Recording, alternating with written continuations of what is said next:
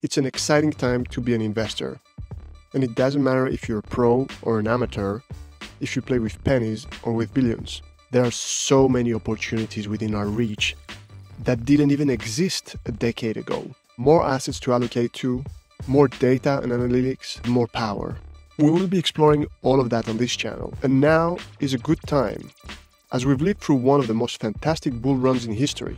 And I don't know if the party is truly over. It's not my purpose to find out. This is not a channel for macro analysis or trading tips. Instead, my focus is on the future of investing and long term portfolio building.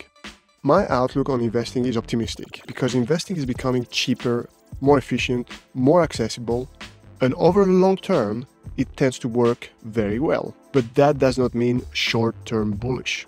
Curiosity will be the guide across technology and asset classes like hedge funds, venture capital, crypto, DeFi, NFTs, art, sneakers, horses, cards, infrastructure. But we will always look at removing the hype. Because in a bull run, the most foolish ones can make the most money.